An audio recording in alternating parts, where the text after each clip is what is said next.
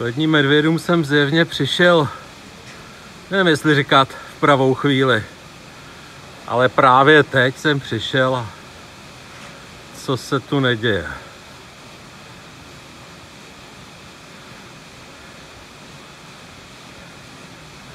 Tak aspoň po božence máme něco trochu akčnějšího.